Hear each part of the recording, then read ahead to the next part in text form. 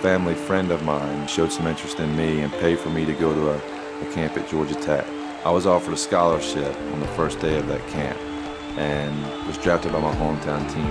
I would not be where I'm at today without that opportunity.